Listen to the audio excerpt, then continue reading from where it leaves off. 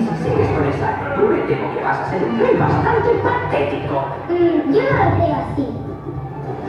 Yo voy a ser el rey y tú no vas a ver. Pues sí, pero en ese cabezón un rey no puede ser.